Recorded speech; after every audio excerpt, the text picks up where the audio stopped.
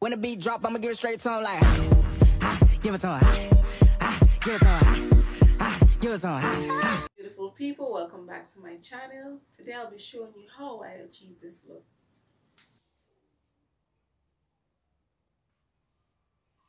So if you're interested in this video, keep on watching. See you in the next one.